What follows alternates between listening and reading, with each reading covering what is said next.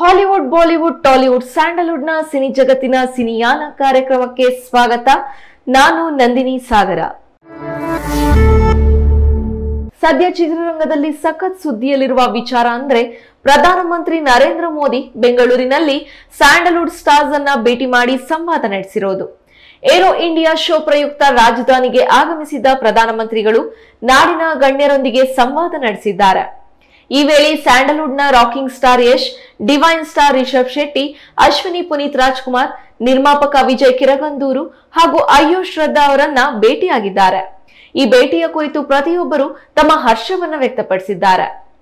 ಮೋದಿ ಜೊತೆ ನಡೆಸಿದ ಸಂವಾದವನ್ನ ಕುರಿತು ನಟ ಯಶ್ ಈ ರೀತಿ ಹೇಳಿದ್ದಾರೆ. ಮೋದಿ ಅವರು ಎಲ್ಲವನ್ನ ತುಂಬಾ ಶ್ರದ್ಧೆಯಿಂದ ಕೇಳಿದ್ರು. ನಮ್ಮ ಚಿತ್ರರಂಗದ ಬಗ್ಗೆ ಅವರ ಮನಸ್ಸಿನಲ್ಲಿ ಏನಿದೆ ಎಂಬುದು ಕೂಡ ತಿಳಿಸಿದ್ರು. ಸರ್ಕಾರದಿಂದ ಚಿತ್ರರಂಗದವರು ಏನನ್ನ ನಿರೀಕ್ಷಿಸ್ತಾ ಇದ್ದಾರೆ ಅಂತ ವಿಚಾರಿಸಿದ್ರು. ಚಿತ್ರರಂಗವು ದೇಶಕ್ಕೆ ಏನು ಕೊಡುಗೆ ನೀಡಬಹುದು ಎಂಬುದನ್ನ ಚರ್ಚಿಸಿದ್ರು ಎಂದು ಯಶ್ ಹೇಳಿದ್ದಾರೆ. ಪ್ರಧಾನಮಂತ್ರಿಗಳ ಜೊತೆ ಹಲವು ವಿಷಯಗಳ ಬಗ್ಗೆ ಚರ್ಚೆ ಮಾಡುವ ಅವಕಾಶ ನಮಗೆ ಸಿಕ್ತು. ನಿಮ್ಗೆ ಏನೇ ಬೇಕಿದ್ರು ಬಂದು ಅವುಗಳನ್ನ ಪಡೆದುಕೊಳ್ಳಿ ಅಂತ ಹೇಳಿದ್ರು. ಚಿತ್ರರಂಗದ ಬಗೆಗಿನ ಸಣ್ಣ ವಿಚಾರಗಳನ್ನ ಕೂಡ ಅವರು ತಿಳಿದುಕೊಂಡಿರೋದು ನನಗೆ ಅಚ್ಚರಿ ಅನಿಸ್ತು. ಚಿತ್ರೋದ್ಯಮದ ಬಗ್ಗೆ ಅವರಿಗೆ ದೂರದೃಷ್ಟಿ ಇದೆ.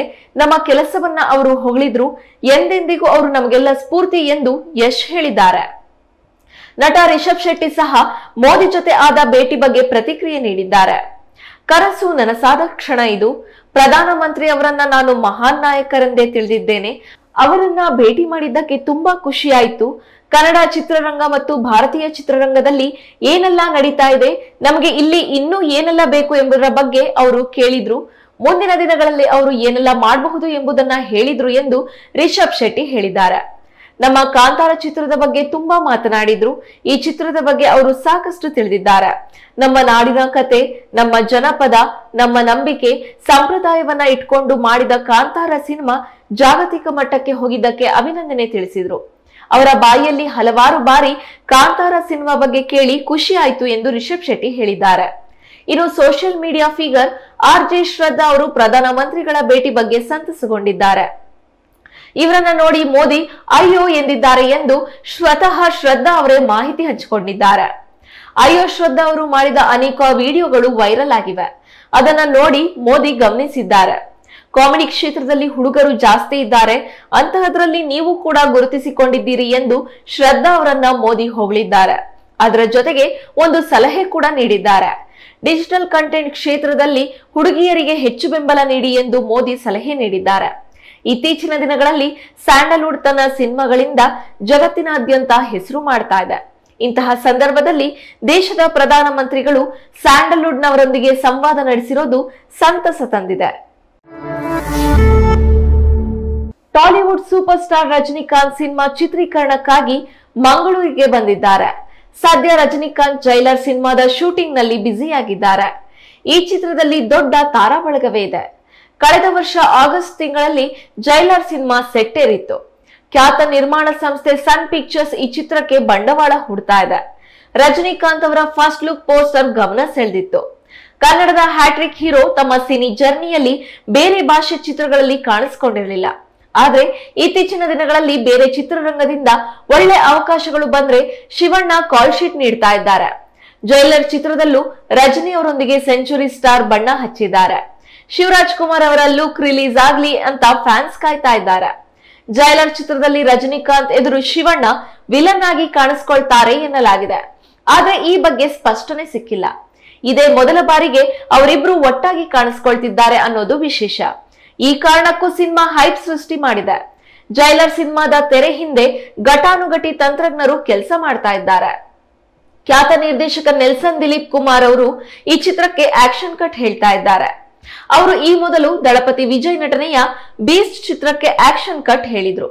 ಜನಪ್ರಿಯ ಸಂಗೀತ ನಿರ್ದೇಶಕ ಅನಿರುದ್ಧ ರವಿಚಂದರ್ ಅವರು ಸಂಗೀತ ಸಂಯೋಜನೆ ಮಾಡಿದ್ದಾರೆ. ತಮ್ಮನ್ನ ಈ ಚಿತ್ರಕ್ಕೆ ನಾಯಕಿಯಾಗಿ ಅಭಿನಯಿಸ್ತಾ ಇದ್ದಾರೆ. ಮಂಗಳೂರಿಗೆ ಬಂದಿರುವ ಸೂಪರ್ ಸ್ಟಾರ್ ಅನ್ನ ಸ್ಯಾಂಡಲ್ವುಡ್ನ ಸೆಂಚುರಿ ಸ್ಟಾರ್ ಶಿವಣ್ಣ ಭೇಟಿಯಾಗಿರುವ ವಿಡಿಯೋಗಳು ವೈರಲ್ ಆಗಿವೆ. ರಜನಿ ಮತ್ತು ಶಿವಣ್ಣ ಭಾಗದ ಚಿತ್ರೀಕರಣ ಇದೀಗ ಮಂಗಳೂರಿನಲ್ಲಿ ನಡೀತಾ ಇದೆ. ಭದ್ರತೆಯ ದೃಷ್ಟಿಯಿಂದ ಚಿತ್ರತಂಡ ಯಾವುದೇ ಮಾಹಿತಿಯನ್ನ ಹಂಚಿಕೊಂಡಿಲ್ಲ. ಬಾಲಿವುಡ್ನ ಸಲ್ಲುಗೆ ನೀವು ಡಾನ್ಸ್ ಮಾಡಿಲ್ಲ, ವರ್ಕೌಟ್ ಮಾಡಿದ್ದೀರಾ ಅಂತ ನೆಟ್ಟಿಗರು ಕಾಲೆಳೆದಿದ್ದಾರೆ. ಈ ರೀತಿ ಹೇಳಲು ಒಂದು ಕಾರಣ ಇದೆ. ಇತ್ತೀಚೆಗೆ ಸಲ್ಮಾನ್ ಖಾನ್ ಮತ್ತು ಪೂಜಾ ಹೆಗ್ಡೆ ಅಭಿನಯದ ಕಿಸಿ ಕಾ ಬಾಯ್ ಕಿಸಿ ಕಾ ಜಾನ್ ಚಿತ್ರದ ವಿಡಿಯೋ ಸಾಂಗ್ ಒಂದು ರಿಲೀಸ್ ಆಗಿದೆ. ಇತ್ತೀಚೆಗೆ ಟ್ರೋಲರ್ಸ್ ಹೆಚ್ಚು ಆಕ್ಟಿವ್ ಆಗಿದ್ದಾರೆ. ಸೋಷಿಯಲ್ ಮೀಡಿಯಾ ವ್ಯಾಪ್ತಿ ಹೆಚ್ಚಾದಂತೆ ಅವರಿಗೆ ಹೆಚ್ಚು ಅವಕಾಶ ಸಿಗ್ತಾ ಇದೆ. ಹೀಗಾಗಿ ಸಾಮಾನ್ಯರಿಂದ ಹಿಡಿದು ಸ್ಟಾರ್ಸ್ ವರೆಗೆ ಎಲ್ಲರೂ ಟ್ರೋಲ್ ಆಗ್ತಾರೆ. ಈಗ ಸಲ್ಮಾನ್ ಖಾನ್ ಅವರ ಸರದಿ. ಕಿಸಿ ಕಾ ಬಾಯ್ ಕಿಸಿ ಕಾ ಜಾನ್ ಸಿನಿಮಾದ ಮೊದಲ ಹಾಡು ರಿಲೀಸ್ ಆಗಿದೆ. ಈ ಹಾಡಿನಲ್ಲಿ ಸಲ್ಮಾನ್ ಖಾನ್ ಅವರ ಸ್ಟೆಪ್ಸ್ ನೋಡಿ ಫ್ಯಾನ್ಸ್ ಹೊಟ್ಟೆ ಹುಣ್ಣಾಗುವಂತೆ ನಕ್ಕಿದ್ದಾರೆ. ಇದು ಡಾನ್ಸ್ ಅಲ್ಲ, ವ್ಯಾಯಾಮ ಎಂದು ಅನೇಕರು ಟೀಕೆ ಮಾಡಿದ್ದಾರೆ. Bigg Boss Hindi season sixteen ಫಿನಾಲೆಯಲ್ಲಿ ಕಿಸಿಕಾ Bhai ಕಿಸಿಕಾ Jaan ಚಿತ್ರದ ಮೊದಲ ಹಾಡು ನಯೋ ಲಗ್ದಾ ರಿಲೀಸ್ ಆಗಿದೆ. ಪೂಜಾ ಹೆಗ್ಡೆ ಜೊತೆ ಸಲ್ಲು ಹೆಜ್ಜೆ ಹಾಕಿದ್ದಾರೆ. ಲಡಾಖ್ನಲ್ಲಿ ಈ ಸಾಂಗ್ನ ಶೂಟಿಂಗ್ ನಡೆದಿದೆ. ಈ ಹಾಡಿನಲ್ಲಿ ಸಲ್ಮಾನ್ ಖಾನ್ ಹಾಕಿರುವ ಸ್ಟೆಪ್ಸ್ ನಗೆಪಾಟಲಿಗೀಡಾಗಿದೆ. ಅವರನ್ನ ಟೀಕೆ ಮಾಡುವ ಕೆಲಸ ಆಗ್ತಾ ಇದೆ. ಲೆಗ್ ವರ್ಕೌಟ್ ಸ್ಟೆಪ್ ಎಂದು ಅನೇಕರು ಟೀಕೆ ಮಾಡಿದ್ದಾರೆ. ನಯೋಲಗ್ದ ಹಾಡನ್ನ ಕಮಾಲ್ ಖಾನ್ ಹಾಗೂ ಪಲಕ್ ಮುಚ್ಚಾಲ್ ಹಾಡಿದ್ದಾರೆ. ಹಿಮೇಶ್ ರೇಷ್ಮಿಯಾ ಅವರು ಈ ಹಾಡಿಗೆ ಸಂಗೀತ ಸಂಯೋಜನೆ ಮಾಡಿದ್ದಾರೆ. ಈ ಹಾಡಿಗೆ ಈಗ ಟ್ರೋಲ್ ಕಾಟ ಶುರುವಾಗಿದ್ದು, ಸಿನಿಮಾ ಮೇಲೆ ಇದು ನೆಗೆಟಿವ್ ಪರಿಣಾಮ ಬೀರಿದ್ರೂ ಅಚ್ಚರಿ ಏನಿಲ್ಲ. ಈ ಹಾಡಿನಲ್ಲಿ ಸಲ್ಲುಬಾಯನ್ನ ನೋಡಿ ಅನೇಕ ರೀತಿಯ ಕಾಮೆಂಟ್ಗಳು ಕೇಳಿ ಬರ್ತಾ ಇವೆ. ಇದೇನೇ ಇದ್ರೂ ಬಾಲಿವುಡ್ ಪಠಾಣ್ ಗೆಲುವಿನ ನಂತರ ಗೆಲುವಿನ ಹಾದಿಗೆ ಬರ್ತಾ ಇದೆ ಎನ್ನುವ ಸಮಯದಲ್ಲಿ ಈ ರೀತಿಯ ಟ್ರೋಲ್ ಮತ್ತೆ ಬಾಲಿವುಡ್ ಹಿನ್ನಡೆಗೆ ಕಾರಣವಾಗಬಹುದು. ಸ್ಯಾಂಡಲ್ವುಡ್ನ ಸ್ಟಾರ್ ಕಪಲ್ಸ್ಗೆ ಎರಡನೇ ವರ್ಷದ ವಿವಾಹ ವಾರ್ಷಿಕೋತ್ಸವದ ಸಂಭ್ರಮ. ಸದ್ಯ ಈ ಜೋಡಿ ಅಂದ್ರೆ ಎಲ್ಲರಿಗೂ ಫೇವರೇಟ್ ಯಾವ್ದಪ್ಪ ಆ ಜೋಡಿ ಅಂತೀರಾ? ಲವ್ ಮಾಕ್ಟೆಲ್ ಖ್ಯಾತಿಯ ಮಿಲನ ನಾಗರಾಜ್ ಮತ್ತು ಡಾರ್ಲಿಂಗ್ ಕೃಷ್ಣ ಪ್ರೇಮಿಸಿ ವಿವಾಹವಾಗಿದ್ರು. ಫೆಬ್ರವರಿ ಹದಿನಾಲ್ಕು, ಎರಡ್ ಸಾವಿರದ ಇಪ್ಪತ್ತೊಂದರಂದು ಈ ಜೋಡಿ ಹಸೆಮಣೆ ಏರಿತ್ತು. ಸದ್ಯ ಈ ಜೋಡಿ ಎರಡನೇ ವರ್ಷದ ಮದುವೆ ವಾರ್ಷಿಕೋತ್ಸವದ ಸಂಭ್ರಮದಲ್ಲಿದ್ದಾರೆ. ಮದುವೆಯ ನಂತರವೂ ಇಬ್ಬರು ಸಿನಿಮಾ ರಂಗದಲ್ಲಿ ಸಾಕಷ್ಟು ಬ್ಯುಸಿಯಾಗಿದ್ದು ಅನೇಕ ಸಿನಿಮಾಗಳಲ್ಲಿ ನಟಿಸಿದ್ದಾರೆ. ಮಿಲನ ಮತ್ತು ಡಾರ್ಲಿಂಗ್ ಕೃಷ್ಣ ಅಭಿನಯದ ಲವ್ ಬರ್ಡ್ಸ್ ಚಿತ್ರ ಇದೇ ಫೆಬ್ರವರಿ ಹದಿನೇಳಕ್ಕೆ ರಾಜ್ಯಾದ್ಯಂತ ತೆರೆ ಕಾಣಲಿದೆ. ಈಗಾಗಲೇ love bird cinema trailer release ಆಗಿದ್ದು ಸಾಕಷ್ಟು ಸದ್ದು ಮಾಡಿದೆ. ಟಾಲಿವುಡ್ ಸ್ಟಾರ್ ನಟನ ಮಗಳು, ಮತ್ತೊಬ್ಬ ಟಾಲಿವುಡ್ ಸ್ಟಾರ್ ನಟನೊಡನೆ ತೆರೆ ಹಂಚಿಕೊಳ್ಳಲು ಸಿದ್ಧರಾಗಿದ್ದಾರೆ. ಯಾವ್ದಪ್ಪ ಆ ಸಿನಿಮಾ? ಆ ಹೀರೋ ಯಾರು? ಆ ಮಗಳು ಯಾರು? ಸಿನಿಮಾ ಯಾವುದು ಅಂತ ಯೋಚನೆ ಮಾಡ್ತಾ ಇದ್ದೀರಾ? ತೆಲುಗಿನ ಪವರ್ ಸ್ಟಾರ್ ಪವನ್ ಕಲ್ಯಾಣ್ ಸಿನಿಮಾದಲ್ಲಿ ಸ್ಟೈಲಿಶ್ ಸ್ಟಾರ್ ಅಲ್ಲು ಅರ್ಜುನ್ ಮಗಳು ಅರ್ಹ ಅಭಿನಯಿಸ್ತಾ ಇದ್ದಾಳೆ. ನಟ ಪವನ್ ಕಲ್ಯಾಣ್ ಅವರು ಸಾಲು ಸಾಲು ಸಿನಿಮಾಗಳಲ್ಲಿ ಬ್ಯುಸಿಯಾಗಿದ್ದು, ತಮಿಳಿನ ತೇರಿ ಮೂವಿ ತರಲುಗಿಗೆ ರಿಮೇಕ್ ಆಗ್ತಾ ಇದೆ. ಈ ಚಿತ್ರದಲ್ಲಿ ಪವನ್ ಕಲ್ಯಾಣ್ ಮಗಳ ಪಾತ್ರವನ್ನ ಅಲ್ಲು ಅರ್ಜುನ್ ಪುತ್ರಿ ಅರ್ಹ ನಿರ್ವಹಿಸ್ತಾ ಇದ್ದಾಳೆ.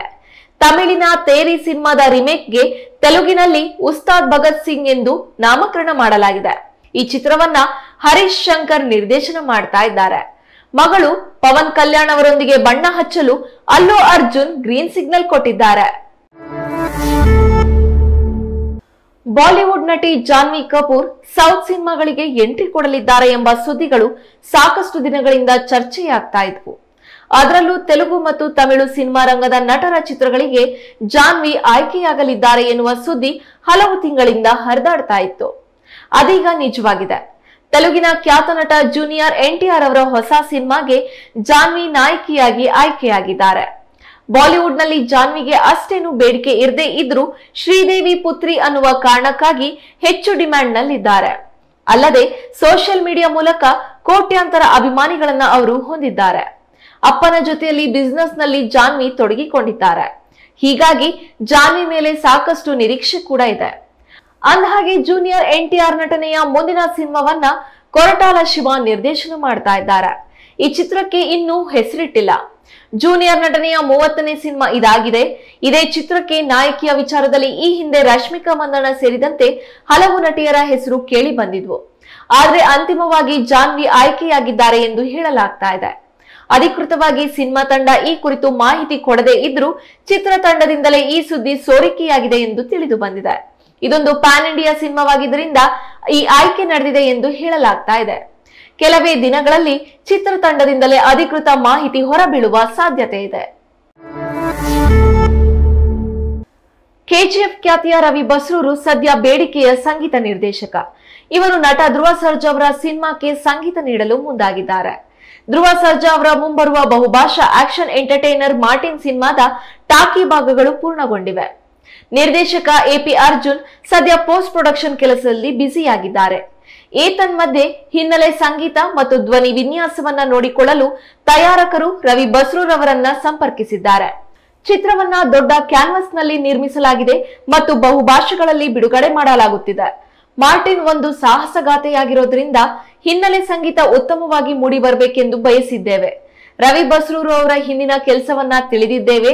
ನಮ್ಮ ಸಿನಿಮಾಗೆ ಉತ್ತಮವಾಗಿ ಹೊಂದಿಕೊಳ್ತಾರೆ ಎಂದು ನಾವು ಭಾವಿಸಿದ್ದೇವೆ ಎಂದು ಅರ್ಜುನ್ ಮಾಹಿತಿ ಹಂಚಿಕೊಂಡಿದ್ದಾರೆ. ಕೆಜಿಎಫ್ ಮತ್ತು ಕಬ್ಜ ನಂತರ ರವಿ ಬಸ್ರೂರ್ ಆಕ್ಷನ್ ಪ್ರಿನ್ಸ್ ಧ್ರುವ ಅಭಿನಯದ ಮಾರ್ಟಿನ್ ಚಿತ್ರಕ್ಕೆ ಸಂಗೀತ ಸಂಯೋಜನೆ ಮಾಡಲಿದ್ದಾರೆ.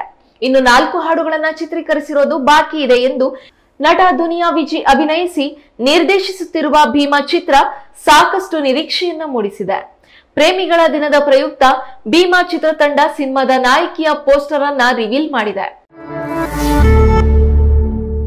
ನಟ ದುನಿಯಾ ವಿಜಿ ಅಭಿನಯಿಸಿ ನಿರ್ದೇಶಿಸುತ್ತಿರುವ ಭೀಮಾ ಚಿತ್ರ ಸಾಕಷ್ಟು ನಿರೀಕ್ಷೆಯನ್ನು ಮೂಡಿಸಿದೆ. ಪ್ರೇಮಿಗಳ ದಿನದ ಪ್ರಯುಕ್ತ ಭೀಮಾ ಚಿತ್ರತಂಡ ಸಿನಿಮಾದ ನಾಯಕಿಯ ಪೋಸ್ಟರ್ ಅನ್ನ ರಿವೀಲ್ ಮಾಡಿದೆ. ಸಲಗ ಸಿನಿಮಾದ ನಂತರ ಮೂಡಿ ಬರ್ತಾ ಇರುವ ಭೀಮಾ ಸಿನಿಮಾ ಬಗ್ಗೆ ಸಾಕಷ್ಟು ನಿರೀಕ್ಷೆಗಳು ಇವೆ. ಸಲಗ ಸಕ್ಸಸ್ ನಲ್ಲಿರುವ ದುನಿಯಾ ವಿಜಯ್ ತಮ್ಮ ಮುಂದಿನ ನಿರ್ದೇಶನದ ಸಿನಿಮಾ ಯಾವ ರೀತಿಯಲ್ಲಿ ಇರಲಿದೆ ಎನ್ನುವುದಕ್ಕೆ ಇಂದು ರಿಲೀಸ್ ಮಾಡಿರುವ ನಾಯಕಿಯ ಫಸ್ಟ್ ಲುಕ್ ಸಾಕ್ಷಿಯಾಗಿದೆ.